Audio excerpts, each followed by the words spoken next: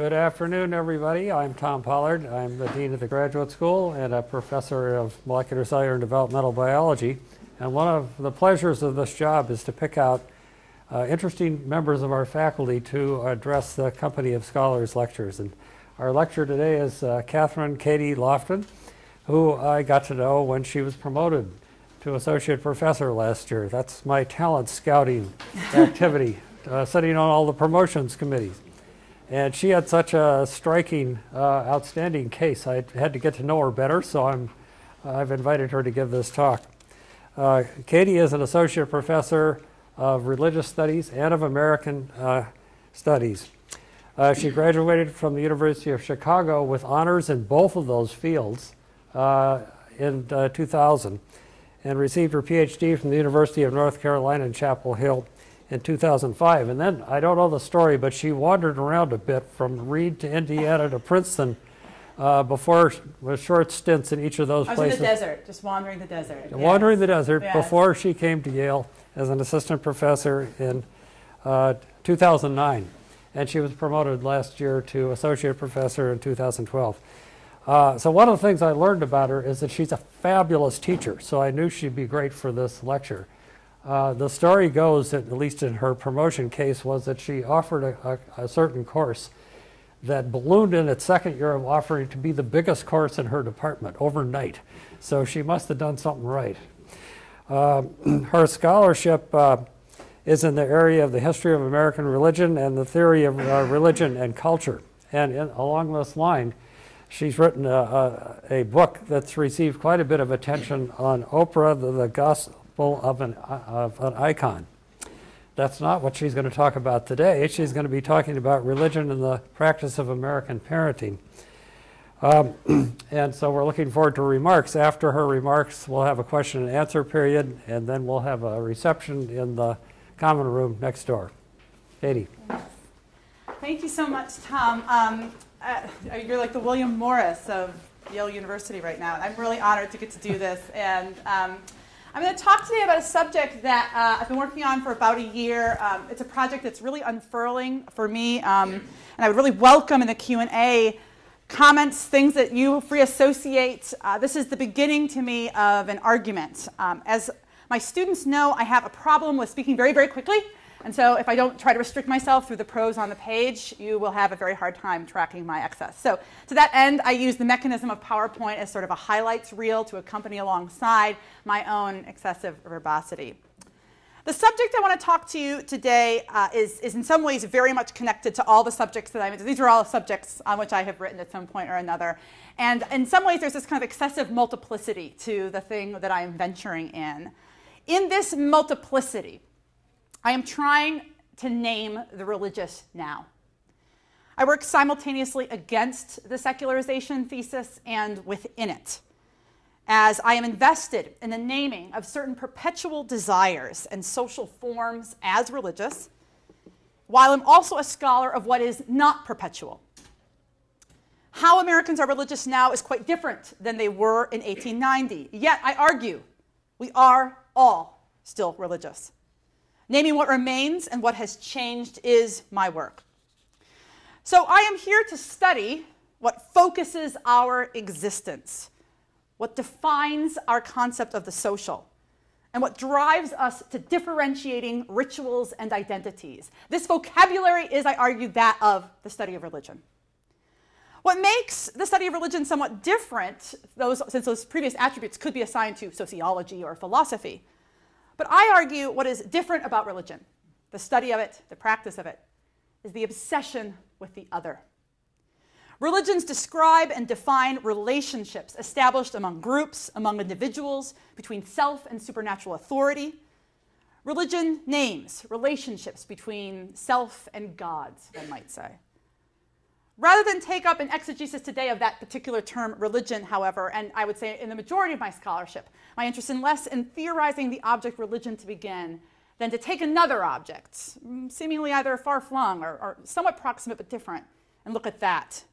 So today, the object I want to nominate, because I think it's usefully brought into a conversation on the religious now, is parenting.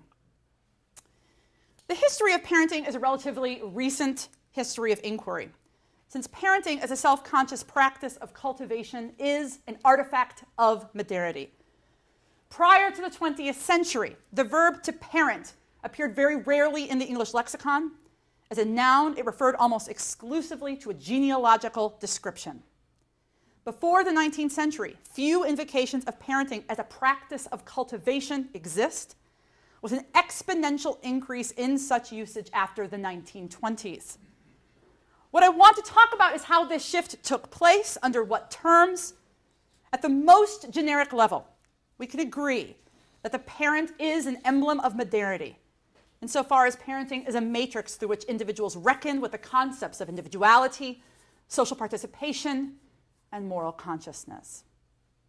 Despite the rich terrain for cultural observation that parenting practices offer, parenting is a very strange lacuna in humanist analysis.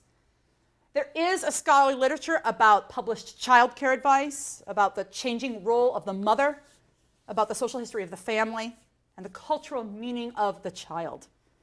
Yet there is very little about the concepts of parental control or practices of parenting. Within US religious history, scholars have paid very little attention to the religious dimensions of modern family life, despite the practical and ideological connections between religious ideation and concepts of parental authority. In general, there seems to be a sense that religion, particularly Protestant Christianity in America, once played a very powerful job and role in the work of parenting, but that religion largely disappeared from homes the at the close of the Victorian era. According to the majority of historical accounts, religion within the family, like religion within the rest of modernity, disappeared in a presumptive secularization. Such a narrative depends on certain sociologies of religion, including those that emphasize church attendance or creedal adherence to prove a declension. Yet I want to reimagine today with you the history of parenting as a document of religion in a broader sense, one that emphasizes how parenting and the formation of a family unit defined by its practice has increasingly become the definitive religious focus of 20th and 21st century Americans. Persistent throughout the documentary evidence prescribing American parenting practice is authority. Descriptions of the authority of parents and the meaning of that authority for the propagation of the right society. To be sure, Romans and Vikings parented, Shakespeare's England had parents, but in the American context, parenting becomes an elaborate discursive regime, a scientia parentis, this is me, that propounded a potent identity for its practitioners and a social politics for everybody to debate. Due in no small part to the country's colonial origins and its overthrow of them, due in no small part to its relationship to parents, parenting became a telling subject in the new nation. As Alexis de Tocqueville observed of America in 1840, when the social state becomes democratic and men adopt as a general principle that it is good and legitimate to judge all things in relation to oneself, taking old beliefs as information and not as rule, the power of opinion that a father exerts over his son diminishes, as does his legal power. De Tocqueville here speaks about the diminishing potency of the father in, the, in America Elsewhere in his text, as some of you know, he writes about America's multiplying and, Tim, quite strange, excessive religious communities. I link these two subjects fading forms of patriarchy, increasing forms of religious creativity, as bound together. Unfettered from mother churches and fatherlands, America instantiated parental authority in a prescriptive excess. When authority is diffuse, even invisible, it must be constructed to exist. To observers of the nascent country, America was a vast frontier that lacked the scaffolding of coherent authority. Parenting and the literatures which emphasized its importance offered maps to this seemingly, wrongly, mapless terrain. To be clear, of course, at any given time, parenting might be manifested in any number of ways.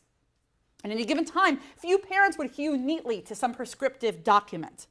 What I want to underline is not a phenomenological truth, but an ontological one. Namely, that parents become the manifestation of authority, and recommendations about parenting were recommendations about proper self governance within such an open atmosphere.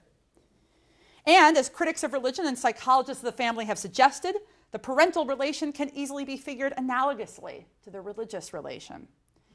An indicative 1882 treatise on moral education of children, American psychologist G. Stanley Hall would write in a much longer rhapsodic passage, which I here abbreviate The mother's face and voice are the first conscious objects as the infant soul unfolds, and she soon comes to stand in the very place of God to her child.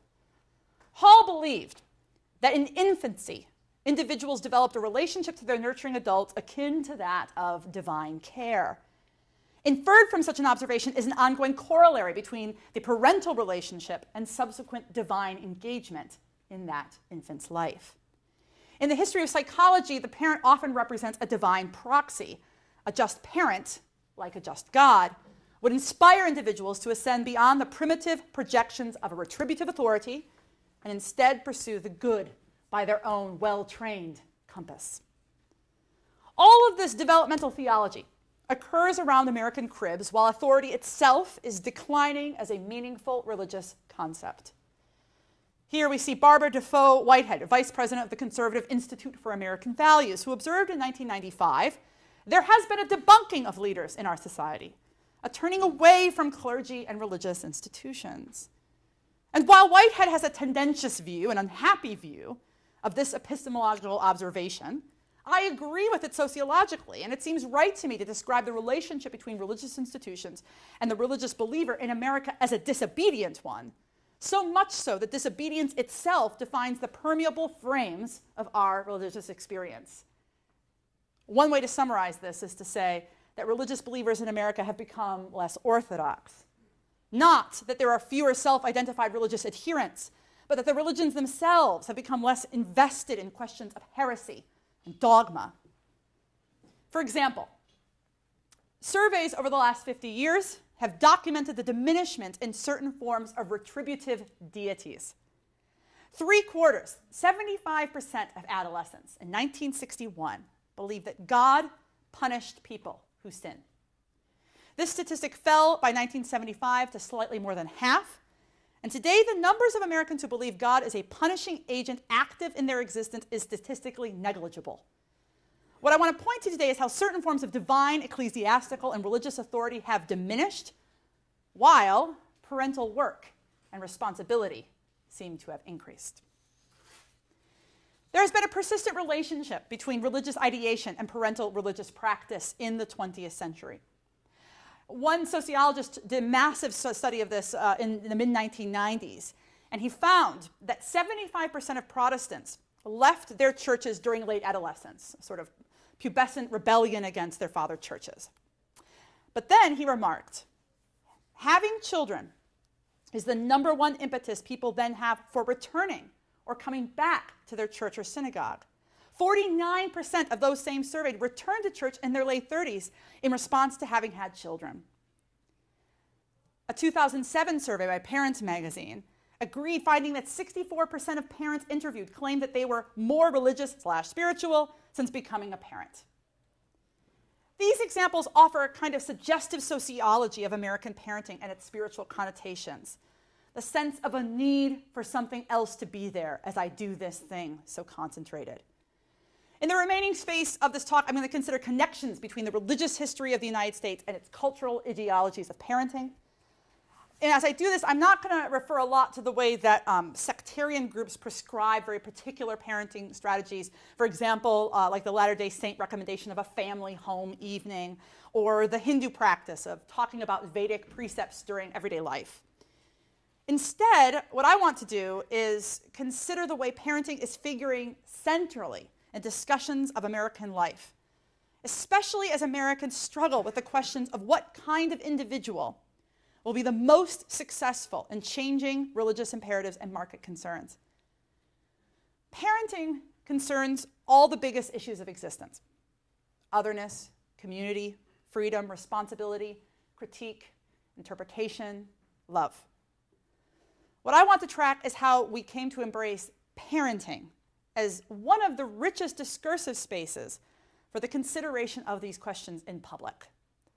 I will move through an account of the history of parenting at a clip previously unseen. that gathers its conceits into interpretive clusters, including, we're, we're on a hustle, people, and we're going to go from colonial, Republican, hygienic, industrial, and service, rapidly moving to the present in an effort to try to provide summary descriptions from various literatures, uh, educational, moral, scientific, creating, uh, they slip into a kind of um, fantasy ascription. What can we really know from such a fantasy ascription, from a kind of description of the ideal parent? What we know is something very spectral. I, am, I'm mindful as a historian of what can we know from a manual of existence? Pretty much nothing to the actuality of existence. Yet I think we can know quite a great deal about the spectral concept of the terms of my adjudication. Notably absent, yet present in a way that we will see, is the rich material and consequential racial history of parenting, a history that would necessarily include the invocation of Native American relocation, slave families, immigrants, and refugees, as well as the specific analyses of differential access to the very institutional and governmental resources I will be highlighting as supporting these sort of icons and ideologies. This is a story that does not tell those stories. This is as typical in the beginning of a plot. This is a story that focuses on a bourgeois mentality that I make iconic of the story that plots us from Catharine Beecher to Miss Ann Romney and G. Stanley Hall to Mr. Dr. James Dobson. This is a broad genealogy of a collective, largely white will about parenting in America. If the absence of parents defined the beginning of American history, parental presence defined in various ways American success and the moral consequences of that success from the 18th century to the 21st. And now we begin. In the 17th and 18th century America, etiquette manuals and moral treatises constantly seem to define and liken the relationship between parents and children in hierarchical terms quite reminiscent of the colonial relationship. Here are two quotations. 1712, Benjamin Wadsworth writes Children should patiently wear and grow better by the needful chastisements and corrections their parents give them. A 1768 treatise said, To children, grumble not nor be discontented at anything thy parents appoint, speak, or do. Parents had one job to break the will of their children so that they would become adults who would sacrifice their personal desires for the good of the larger circles of authority they occupied, including those of family, church, king, and country. British colonists did not interpret individualism or ambition as positive aspects of a child's disposition to be fostered. Rather, they believed that children were innately sinful and required the controlling authority of a parent to teach them self discipline. A revolution in parenting transpired simultaneously with the American Revolution. In the early national period, our contemporary conceptions of child nurture began to take shape, as John Demos wrote significantly about, and children were increasingly understood to be less sinful. Indeed, children began to be enchanted by a parental dynamic bent upon pressing the family into political significance. Catharine Beecher, one of the foremost theorists of 19th century domesticity, female and otherwise, dedicated her 1869 volume, The American Woman's Home, to, this is her language, the women of America, in whose hands rest the real destinies of the Republic. Mothers directed Republican parenting. As fathers guided Republican economic independence, each one relied on the other for its perpetuation. Despite this clarity about the natal importance of the American home, the available child rearing manuals offered a set of very conflicting demands to parents, a pattern to be continued. Parents were told teach your children to submit to a Christian conscience. At the same time, circulating cultural images emphasize the importance of free market savvy and, as one of them said, a fierce will for American success. From the standpoint of religious history, this contradictory endorsement of individual independence and Christian obedience can be seen across the American landscape as schismatic sects formed by the month and non denominational evangelical benevolent societies increased in number and size. A new circulating interdenominational concept of national Christianity became a form of authoritarian speech that inspired everything from the new enshrinement of the mother as a societal arbiter to the abolitionist arguments focused on the terrifying domestic familial displacements of enslavement. Such a presumptively Christian configuration for family life was not met with universal acclaim. Many, if not all, 19th century communitarian critiques of existent religious authority, like those supplied by the Latter day Saints, the Rappites, the United Perfectionists, all included centrally indictments of this nuclear family and its norms for sexual practice and gender identity. Across the country, individuals resisted this new Protestant American rectitude in favor of experimenting with very relatively new prescriptions about right parents, families, marriages. Whatever parental authority that Christian observers prescribed to quell indulgent sensibilities, there was also an equal cultural tug to encourage rebellion in that marvelously Republican child, as seen in the multiple depictions of the impish child pulling pranks on mom, dad, servants, whatnot. And the confused results were deemed to be thoroughly American from one European observer. Parents love their children as dearly and intensely as Europe, but exercise less control, less authority. American parents are far more forbearing, nay, meeker with their children than they are in Europe. The invention of this Republican nurturing parent had not, it seemed, produced a child willing to be controlled. If Republican parenting sought to instantiate a right citizen, lively, wakeful, angry, ready, hygienic parenting sought to construct the developmental apex of civilization. Children ought to receive the very best that science had to offer, and they ought too to embody physically and morally the very best humankind, humankind can be. In practice, these two forces, moral and scientific, were much more overlapping than oppositional. For example, in the book The Christian Family, psychologist George Walter Fiske argued for a child centered home that was run by his language constructive discipline. This home would include a regular family council, as well as regular times for prayer, worship, instruction. When he was trying to reach, though, for a metaphor to describe this ideal familial community, Fiske wrote that the home was, his language, a laboratory, a place where children could daily observe different practices of religion and learn the right ones through godly parenting. The home became a scientific laboratory due in part to the permeating effect of the child study movement. Led by American psychologist G. Stanley Hall, the child study movement sought to enlist large numbers of ordinary citizens in a broad effort to deepen both public and scientific understanding of human development.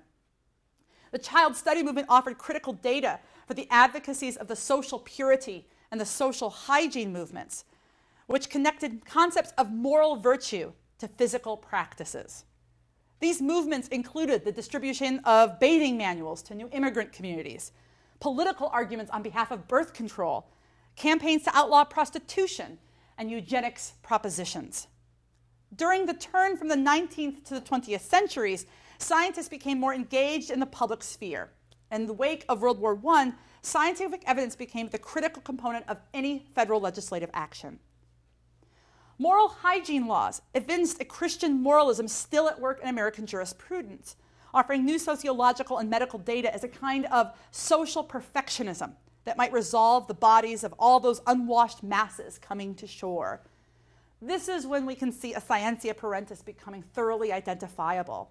A rash of new child rearing manuals began to appear in the United States in the 1920s. As one prominent historian of the American family has argued, the 20th century, described as the century of the child, became, their language, a century of anxiety about the child and the parent's own anxiety. The number of agencies and manuals devoted to children and their proper care increased exponentially. As the author of Religious Education of the Family described, today's parents are becoming more and more interested in the rational performance of high duties. And, formed, and they're forming associations in church, Christian associations, women's clubs, and institutes are studying the subject. There is a general desire for guidance. This organizational development surrounding the subject of parenting reflected the expanding national culture of education, the incursion of therapeutic idiom in all of public life, and the formation of federal agencies to nurture and monitor human welfare. Hygienic parenting was a very potent discourse, one that identified the child as a primitive subject to be developed into a civilized adulthood in a process of recapitulation evocative of the very worst excesses of social Darwinism. Yet these arguments would not persist in precisely that form. The scientism became an excess, and a rebuttal emerged, as happens in every transition. in my plot. As historian Martha Wolfenstein has spoken about, the transition in the 1920s and 1930s was that there was a transformation in the conception of the child that was a rebuttal against this kind of endless measuring and monitoring of the child's particularity. This is her language. Where formerly the mother was to exercise a ceaseless vigilance, removing the thumb from the child's mouth as often as he put it in, now she is told, Wolfenstein explains, not to make a fuss, to let the child act without interruption.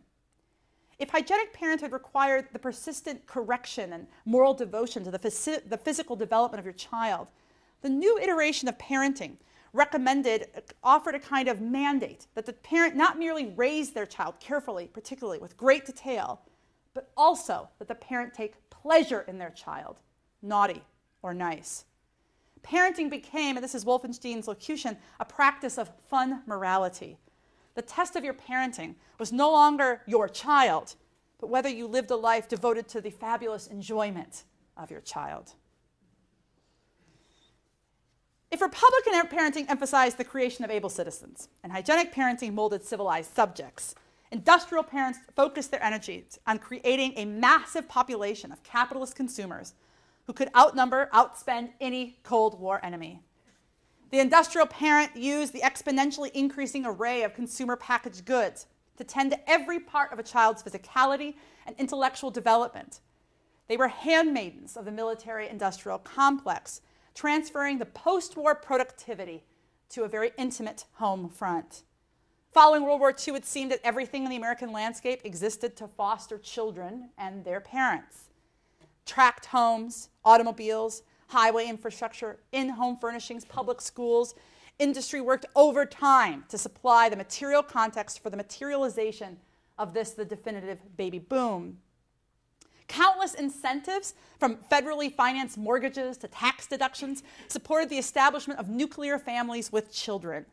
The birth rate rose among all social, occupational, economic, and ethnic groups in a remarkable consensus of reproductive behavior. Communities like Levittown, Pennsylvania earned the nicknames Fertility Valley and the Rabbit Hutch to describe their natal excess. Although the baby boom was fueled in part by the post war economic boom, it also resulted in a profound change in the national political culture. Parenthood now became an absorbing creative profession, a career second to none, wrote one writer in 1946. This is a very signal transition in my historical account as it is when exterior authorities, moral and hygienic, become internalized by the parents. When Dr. Spock remarked, Trust yourself, you know more than you think you do, he effectively concluded the era of hygienic parenting, turning from outside scientific authorities toward the analysis of their own maternal and paternal feelings. This did not, however, diminish the role of parenting manuals or their authors, Rather, it's going to elaborate the role of the author as an interpretive guide to those unexplored parental feelings. As families lived in increasingly atomized physical settings, child rearing manual authors became virtual village elders, boon companions, and confessors to those who bought their texts and considered the application of their complex recommendations. To me, this is a very significant transition in the history of self and other. The parenting guru, Spock or otherwise, existed mainly to help the parent to help themselves to see what it is the child wanted most to be and to do. The purpose of parenting was to come to understand your child as they were, not to compel them to formal rules or abstract metrics. For 52 years, sales of Dr. Benjamin Spock's Baby and Child Care were second only to the Bible in the United States. This engagement with a child was, Spock argued, the absolute highest calling. Him. Taking care of their children, seeing them grow and develop into fine people, gives most parents, despite the hard work, their greatest satisfaction in life. It is a creative and generative act on every level. Pride in otherworldly accomplishments usually pales in comparison. In the world of Dr. Spock, there is no such thing as a willful child. There is only a misunderstood child. His handbook included short recommendations usually only two to three paragraphs in length, about every conceivable child care question, posed often, and some of you probably know this, as a series of questions to the parent. This passage, I'm about to show you a passage, I'm like building up to a reveal. Um, if you haven't seen it, you're just in for a treat today. So, every, as you read this passage, keep in mind that to me what's interesting about it is um, it's sort of a hum, that the text has a kind of hum that I would, I would myself want to very much liken to meditative transitions, but we'll hold that back for the Q&A. For right now, notice the responsibilities of the parent, the kind of interactions that are made ideal between parent and child, the critical role material goods play in the management of a child's disposition, and the question, who is the boss? Frequent tantrums are most often due to the fact that the parents haven't learned the knack of handling this behavior tactfully. If your child is having frequent temper tantrums, ask yourself the following questions Does she have plenty of chance to play freely outdoors? Are there things for her to push and pull and climb on there? Indoors, has she enough toys and household objects to play with? And is the house child-proofed? Do you, without realizing it, arouse bulkiness by telling her to come and get her shirt on instead of slipping it on without comment? Or asking her if she wants to go to the bathroom instead of leading her there or bringing the potty to her? When you have to interrupt her to play to get her indoors or meals, do you frustrate her directly or get her mind on something pleasant? When you see a storm brewing, do you meet it head on, grimly, or do you distract her to something else? Time and again, Spock's ideas were described rhapsodically with enormous relief as common sense. And they quickly pervaded the landscape. Parents referred to their children as Spock babies with pride. A poll of more than a thousand new mothers found that 64% of them had read Baby and Child Care 30 years after the book was released. Of this group, four of every five referred to the book at least twice a month. Doctors and insurance agents gave it away for free well into the 70s with every birth. Dr. Spock becomes a national paterfamilias, whose wisdom emanates from a kind of set of commandments. He argued that parents could achieve enlightenment through the admirable patience and quiet labor of submissive parenting. Spock was the ideal mouthpiece for industrial parenting. His parent was the assembly line laborer possessing a stoic constancy before a job described as necessary, necessarily hard, but constantly revelatory. Not everybody affirmed Spock's view. Conservative columnist Stewart Alsop complained that an entire generation was spocked when they should have been spanked.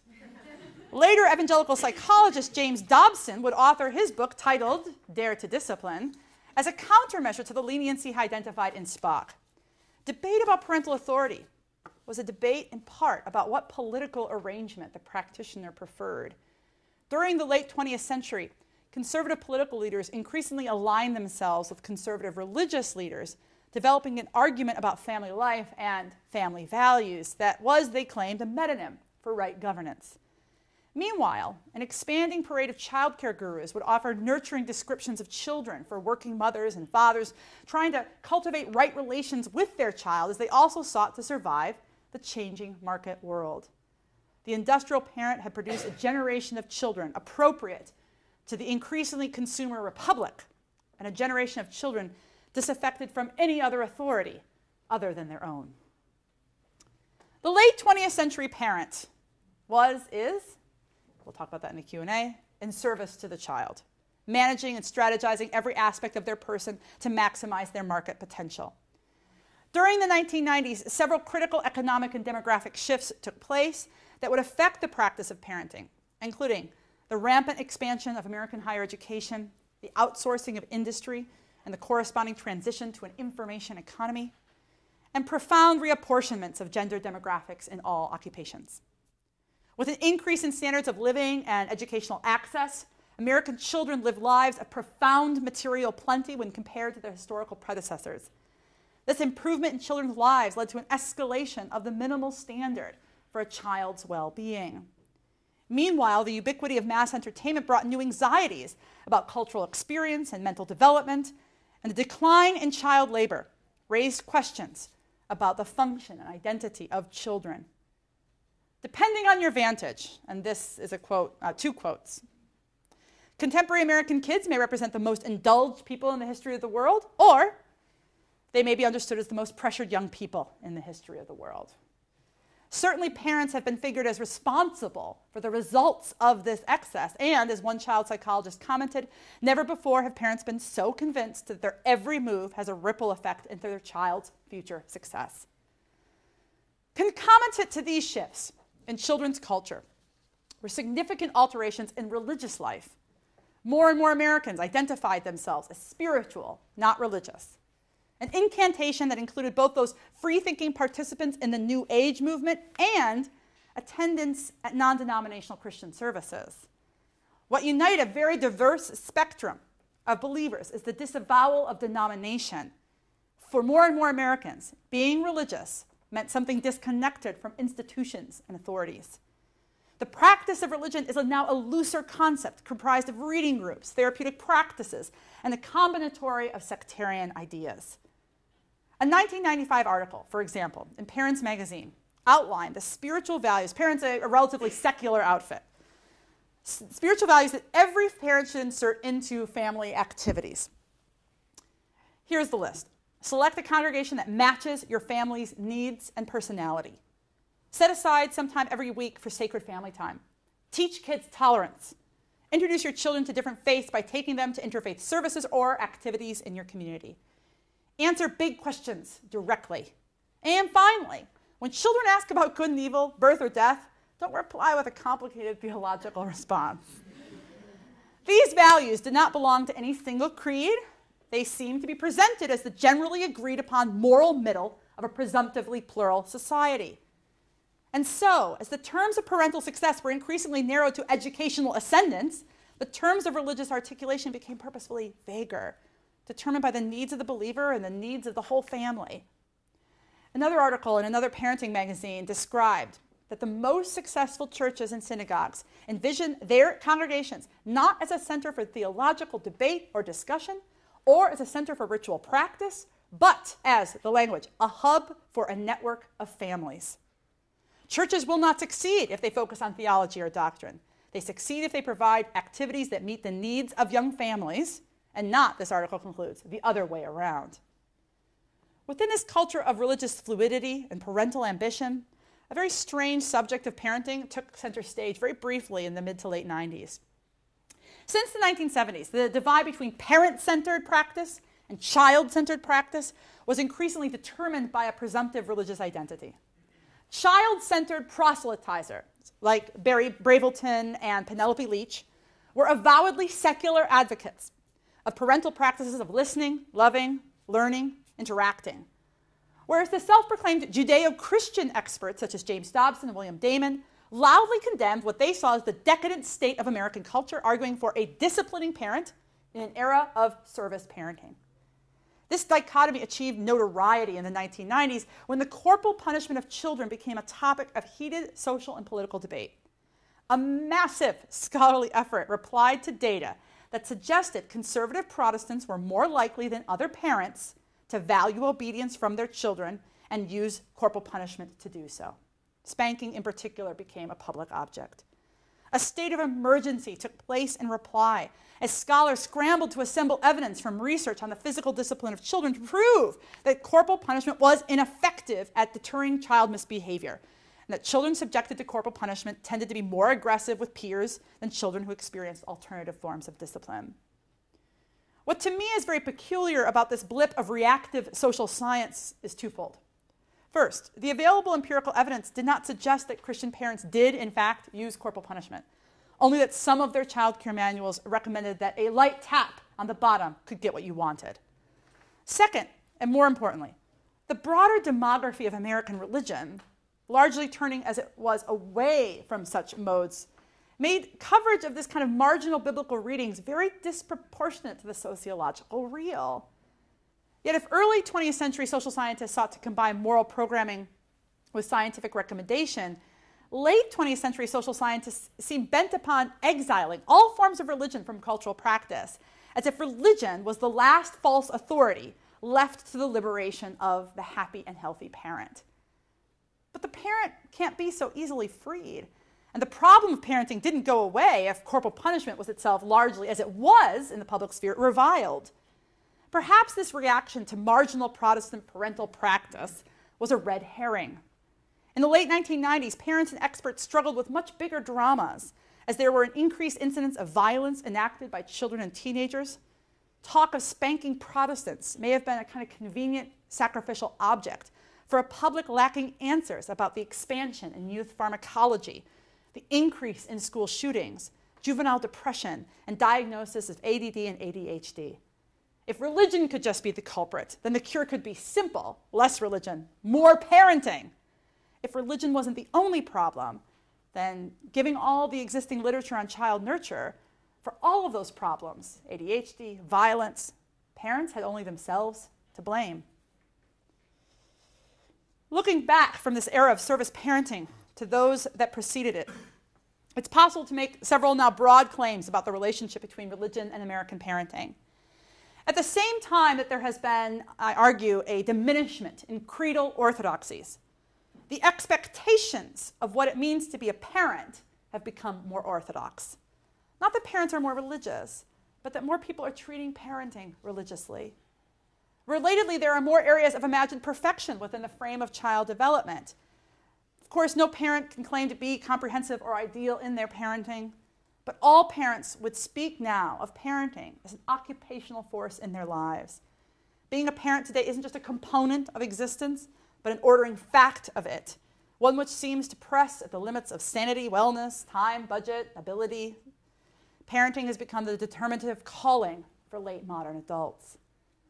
Examples from the disputes, often electoral, of summer 2012 illustrate the contradictory positions held within this new landscape of nurturance. During that time, it was difficult to avoid the subject of parenting, largely exhibited through the complicated and fraught figure of the mother. Here, two, um, two quotations from both of the candidates' wives speaking about the centrality of their motherhood as their capacity to lead. In the early 20th century, the elements of infant nurture have gone decidedly public, including entire economies, psychologies, and lobbies dividing the world between good and bad parents, depending on the practices that they pursue. Amid the din of debate, though, about toddler breastfeeding and supermothers, about nannies and quality time, about the new slacker dads and the old midwifery, I am trying to nominate all of these topics as topics for the study of religion. Because to me, there's one hum of truth in all of these subjects that practicing parenting is central to the American moral life, determinative the American moral imagination. In the mid 1990s, Parents Magazine surveyed more than 7,700 uh, readers and found that there was a universal agreement that teaching children was the practical way to make a lasting contribution to society. Elaine Tyler May, a historian who's written quite a bit on childlessness, worries about this. She writes Many Americans believe that the only place they can find true happiness is in private life. This belief places an overwhelming burden, as well as an overwhelming sense of expectation, on individual procreative behavior as determinative of the moral life. In a moment which the public sphere seems unwieldy and maybe undisciplined, being a parent seems perhaps the only way to change the world. A religious history of American parenting shows that there has not been a secularization of the American family in which religion has increasingly absented itself. Instead, this history shows that parenting provides a mode of religious expression. If religious orthodoxy is understood as a submission of individuals to a comprehensive theological system, parental orthodoxy could be conceived as a submission of individuals to the work of parenting as determining the lives of its practitioners. The home, I argue, has not become merely a replacement for the church. It has become the genesis of the secular that defines our religious world. Scholarship that tries to tackle the embodied, material, and social facts of this dynamic would offer not only portraits of the history of the family, but also, I think, key exhibits in the history of religions. Thank you so much.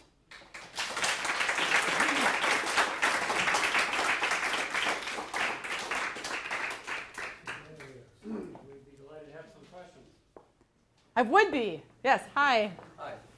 Um, really enjoyed the talk, especially the the uh, conclusion, the sort of one of your, your big thesis at the end. I really like that. Um, one thing that I I'm not sure that the analogy extends perfectly, and you can probably convince me otherwise. Is uh, religion has been forever embodied as a uh, community. Right. Uh, yes. And I don't talk to my neighbor. Right. On you know we don't meet weekly to discuss how I'm going to raise my kids. So yes. Is that completely gone, or am I not thinking of it? No, that's a great question. So, I mean, this project for me very much came out of I, I wrote this book about Oprah Winfrey, where um, many people would look at Oprah and just say, well, that's just narcissism. That can't be religion because it's self help. and the New Age. And so Oprah's famous for propounding all these spiritual observers who guide her and only her through her problems. And through watching her, you learn how to take care of yourself. And as I was watching the show and talking about it and its relationship to religious history, the thing that also worried me or concerned me was precisely this absence of community. Sometimes Oprah's show would create book clubs around it. Sometimes it would lead to women meet and watch the show, but pretty rarely. It was largely individual self betterment. And the question of community seemed to be sort of hanging spectrally over the entire 20th century in, in the study of religion. How do we solve the problem? Precisely what you're saying, which is I don't talk to my neighbor. Right. In history of philosophy, let's all start weeping. I don't talk to my neighbor.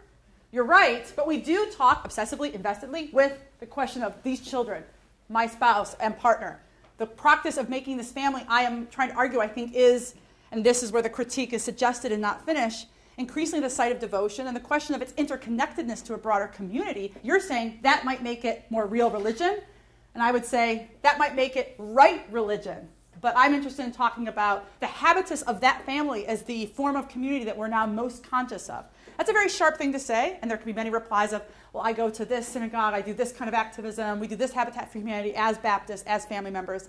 But I'm trying to say, what's the primal social unit of contemporary Americans. I would argue it's not some concept of community, it's the family. And so, in that, I am trying to definitely take up the very rough edge of that question you're asking, which is what's the con- consciousness of community in that? And As I, quoting Elaine Tyler May, I'm trying to raise is this good? Is this bad? How do we feel about that? Do we think that this is a way of political? As I, I think May is overtly saying this is the end of politics. It's, it's the beginning of something very worrisome. Or is she totally wrong? Because as we see, the candidates' wives use it to interesting effect. We see both Michelle Obama and Ann Romney lassoing their vocabulary of motherhood to have political projects. What do we think of those? Um, in any event, so that's precisely the kind of observation that I'm trying to react to and think about. And, and so thank you. Yeah. Hi. Um, along that line, as church and synagogue attendance has declined. Yeah. Um, you have the information age parenting, where people are morally judging each other. And oh my God.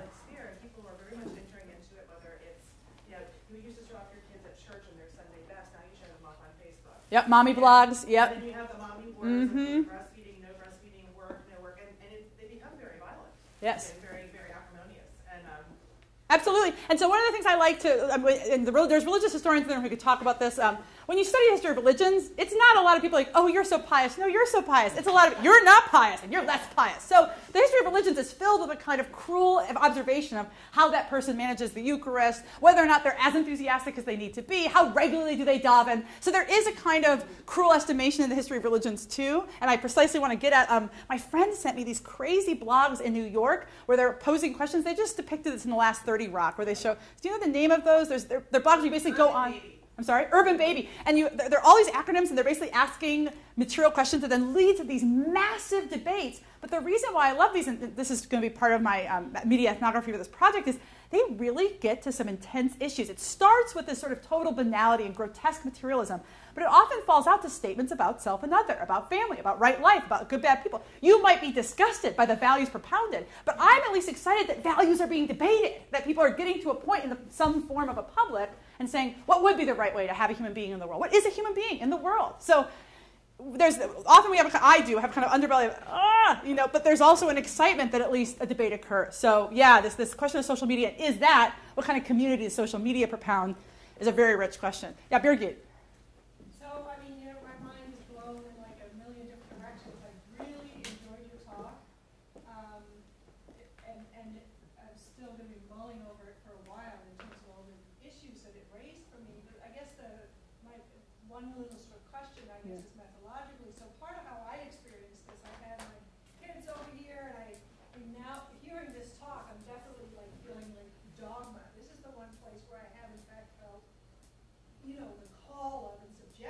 in parenting. Absolutely. Yes. As opposed to in scholarship or in gendered performance, but their dogma appears. Yes. Yes. Freedom. Right. Yeah. So now I'm looking back at it, and among other things, and I've thought this, and I've interviewed multiple times, that much of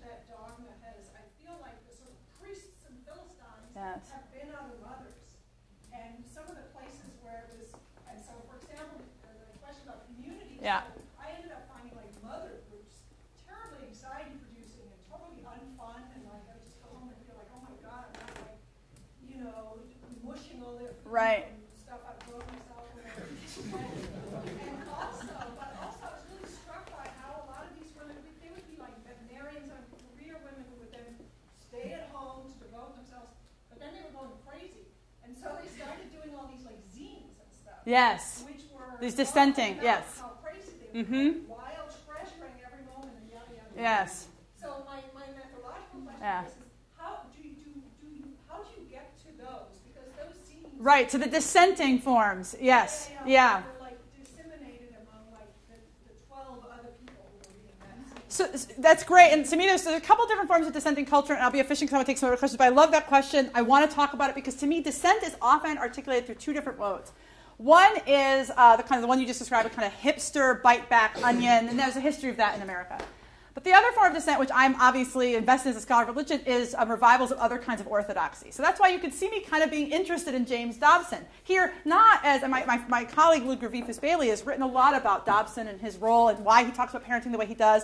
And here's not the licensed Dobson. Dobson is disturbing. To read him in excess is to travel the mind of a person who truly hates human beings. But, but he has taken on, just like the Mormons did, just they take on the question that there's something very normatively disturbing about all these mothers have to enjoy parenting all the time. You have to enjoy every part of it. First of all, it's exhausting. Second of all, it's a duty. So then he runs to duty. He says you cannot have to feel so bad about not enjoying it all the time. You treat it like a good Christian duty. I like that alternative of a new vocabulary of hermeneutic, even though in the end I'm not going to side with him interpretively. So yes, I'm trying to find sources for dissent. I welcome those. If you want to send me those links, I, I, I'm collecting. I'm at a collecting stage. So I, I love the, the spaces where people can bite back against the normative sup- suppositions of sentimental joy, which is so often attributed to this plot. Um, yeah, hi. Uh, well, I was I was going to ask a very theoretical question about your definition of religion. Yeah. I, in the religious, because I tend to get uncomfortable when people define religion very broadly. Yeah. as I think you do. But I, I want to ask a much more banal question now. Yeah. What What do you make of the vehement and and sort of surprising to me right wing reaction to Michelle Obama's initiatives with regard to healthy eating and going outside? I mean, these seem like very sort of common sense and traditional American kind of parenting things. Is there a racial dynamic? Is there a class dynamic? We Yes. want this liberal, you know, this uh, you know liberal educated black woman telling us to eat kale and everything. you know. Right. I think you're very much on the plot line I would go on. and then I would just add that the exteriority, one of, so I can, and as, as my students, we, we, we'll talk about Michelle Obama in my class on religion and sexuality because it's such a beautiful example of Foucault's description of biopower because she's really trying to say a healthy population looks this way and feels this way and, and gives prescriptions for it. But the thing that's, to me, incredibly admirable about the plot, and I think is therefore upsetting to is it takes people so outside. It takes them into communities and mixes them together. The fear that these terrains are unpoliced. Unpoliced mixing is a huge concern for most religious communities. What will happen if we are not being more regulated and using public spaces? It seems to, one of the blogs I saw on this point, just in researching for my class lecture, was one that's just worried about community gardens as socialist spaces. So one can imagine, you know, you can get to it. You, your analysis is already there. I just want to land really quickly, though. He raised at the beginning this question of the definition of religion, which for those of you who are not in the study of religion do not know how many pages, hours, lives have been lost on the wars of defining religion. And I did absolutely, the brother was right, say I did a very general, which is something about religion is concerning the question of self and other. And I do that because so much time, my, one version of this talk opened by saying, I'm a person who really loves Paul Tillich's definition of religion, where he talks about his ultimate concern, and I love sociological definitions like Durkheim's, where he gets hyperactive about what's an actual community, what do they have, what objects do they have. So I am fascinated by both forms of study of religion. One which tries to get at the things I feel deeply about with large groups of people. That's religion. And the other groups that are trying to be more technical about it, this is the four elements you need. That's a religion. And I tend to think in contemporary American culture that the technicology of the second is going to keep you out of studying much as religious anymore. We really do run into, because of precisely the first question, the elements that you need to find a religious life, the kinds of numbers and community that the people who define a, a relationship to religion, it's hard, it's hard to find those kind of classic objects community, creed, code, cultus.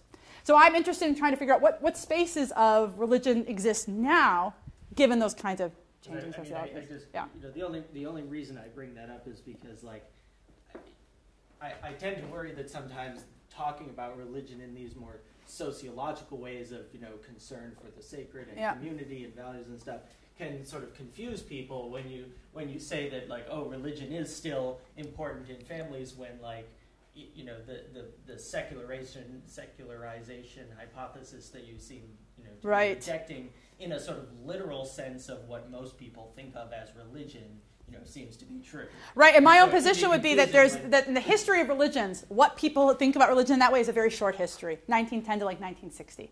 So when you're talking about religion that way, there's a very short period of time where people thought about religion in that way. I'm a Lutheran, very short window of history. And otherwise, it's a much, as historians in the room can all speak about, it's about way of life, it's integrated into daily practice, or it's really complicated and combinatory. But the story and the definition of religion was encapsulated by a particular mode, which all of us could then narrate the history of social science in that time period, incorporating American communities, the exclusion of other communities. So anyway, it's a great question. Many classes taught. Some people in this room don't find it as exciting as you and me. But, um, but does anyone ask any other questions? Any last question? Yes, Ms. Rabin. Um, so we just talked about your definition of religion, and I would enjoy some reflection on the other categories that you used in the talk.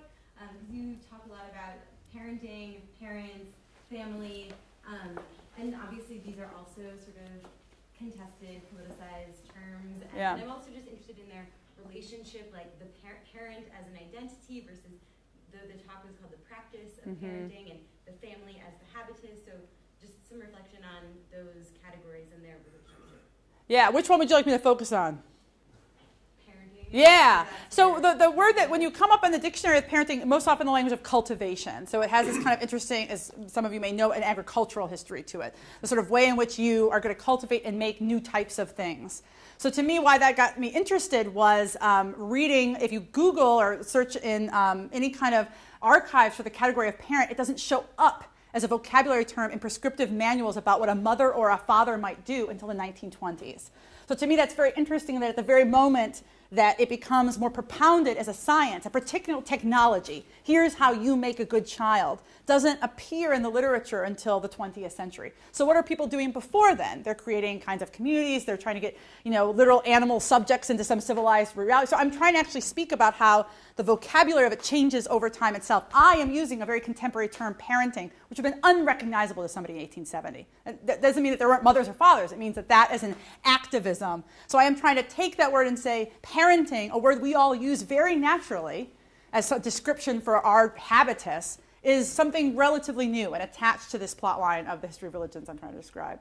And I guess just another additional question, another way of asking what I said before is why why are you focusing on parenting and Yeah. not the family or parents? Right. Because to me, the, the, the activism is in the doing of it, that that's what it should be an absorbing practice, that there's no part of your life that would not be marked out. This project began for me when I was with a, a friend um, from college, a philosophy major in college, who gave me a, a 40 minute monologue about those nooks, those things that you put into the mouth of babies. They say NUK on I think that's the brand name. They're just a little, you know, a little sucker. I mean, you know, but like pacifier. That's the word. Thank you. Um, we call them the nook in my world. But like, and so the, she had 40 minutes about whether or not to win and whether to remove the nook. And that was one of the most elaborate descriptions of this person who had spoken largely in abstractions for much of it. And now all of a sudden, this practice was the source of all cognizance. So to me, that's parenting, therefore, is a practice and, a, and an epistemology. And trying to get at that is that, that conjunction is, is to me the, the labor of the project. Yeah. Sorry. I would, I would also ask too, in parenting, are you also talking about the part of the society that is not necessarily a parent?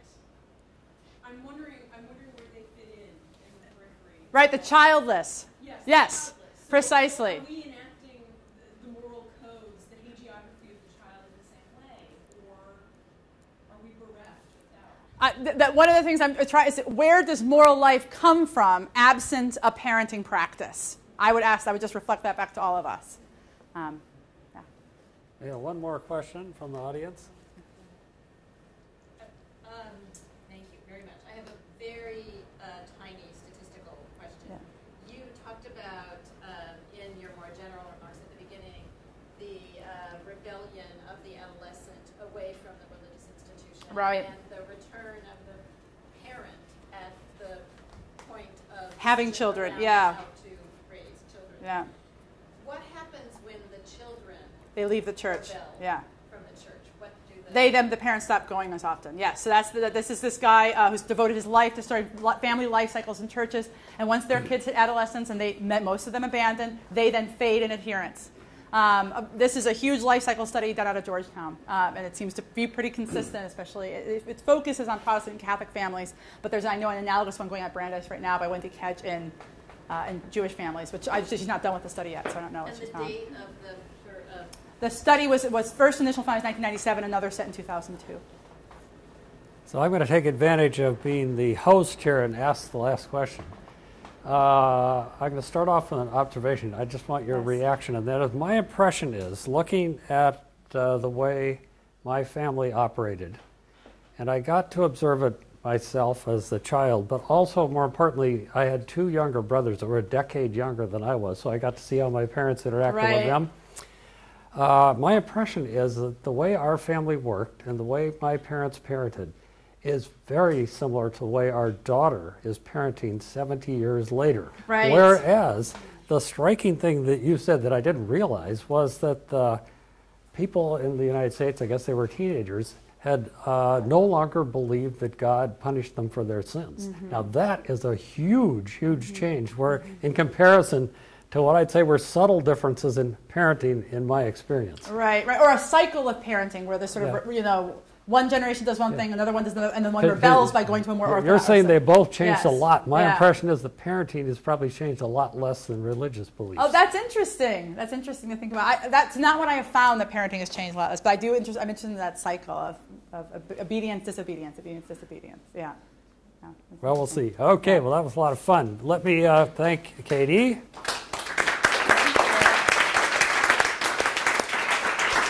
Number two, thank all of you for coming and asking so many excellent questions. Number three, I'd like to extend two invitations. One to come to our reception, which is next door in the common room. And the second invitation is to come back on April 2nd for something completely different. Paul Tipton, who's the new chair of our physics department, is going to talk about whether the taxpayers of the world got their money's worth in paying for the discovery of the Higgs boson. It ought to be a really interesting discussion with both scientific and, and uh, sociological questions that he's, he's raising. So I invite you to come back then. Thank you.